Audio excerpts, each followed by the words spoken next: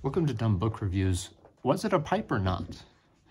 I'm referring, of course, to the work of famous Belgian painter Rene Magritte, as in today's book, Magritte. This is written by Alexander Adams, published by Prestel, and this is part of their Masters of Art series. I haven't seen the other books in this collection, but what's kind of interesting about this one, it's really straightforward.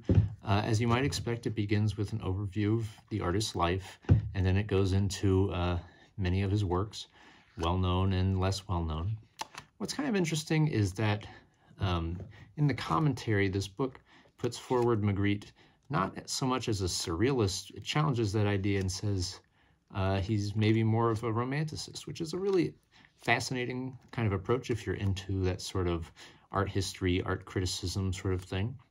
Uh, but if you're just a fan of Magritte or artists like him in general, Again, even though the book is so simple and so straightforward, I couldn't help but want to share it because it's so well made. The materials here are really lovely. The pages, the pictures really pop. This is one of my favorite Magritte works, Time Transfixed. Uh, the materials, the proportions of this book, it's so also lovely, so well put together, uh, and the simplicity is really a, uh, a, a strong point for it.